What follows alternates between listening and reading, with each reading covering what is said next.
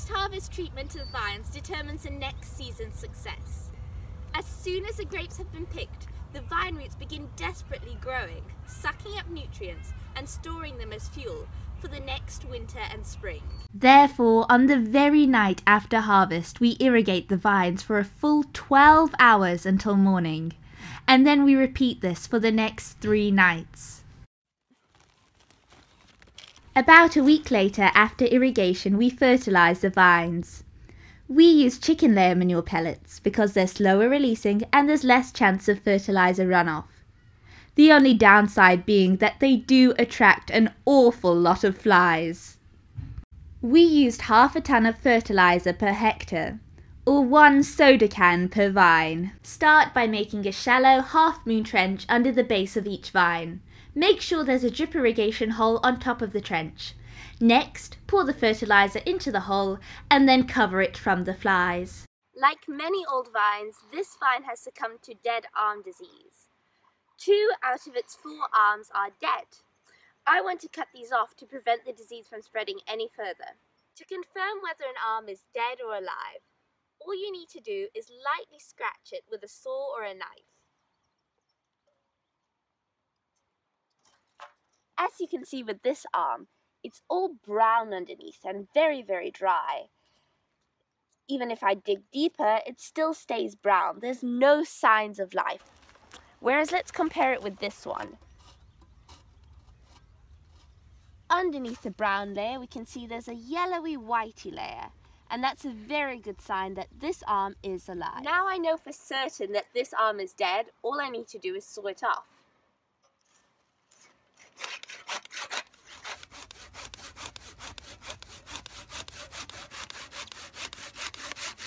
Now that the diseased wood has been removed, all I need to do is seal it.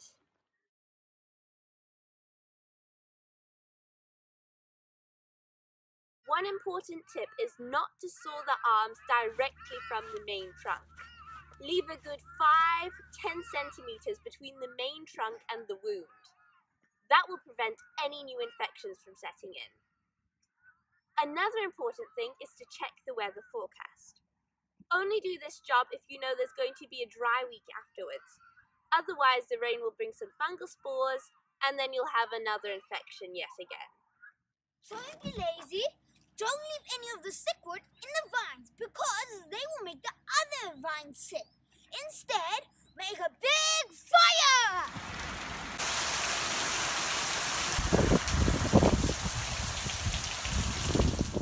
Once the autumnal rains revive the parched summer soils, we begin to plough, driving the tractor very slowly, at least twice through each row we ensure that each and every blasted weed that's popped up since the summer ended is smothered in soil.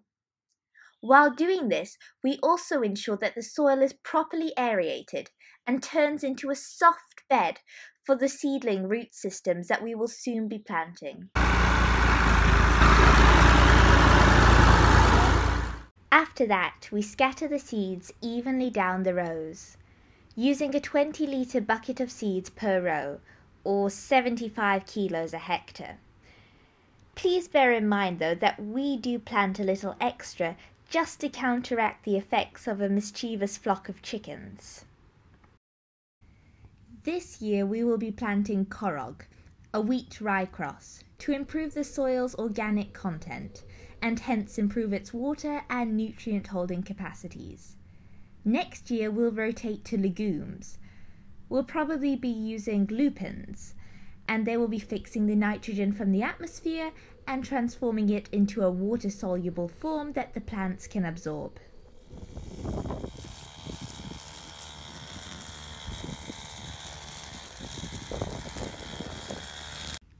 Along with the mesmerizing patter of rains, autumn brings a plague of weeds intent on sucking up all the nutrients from the vineyard. We mow them down at least every three weeks with a weed eater, or once they've grown taller than my Wellington boots.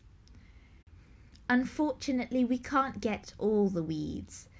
We're forced to leave some of them near the vine's trunks for fear of nicking the vine trunks with the weed eaters and therefore damaging the vines and possibly even killing them.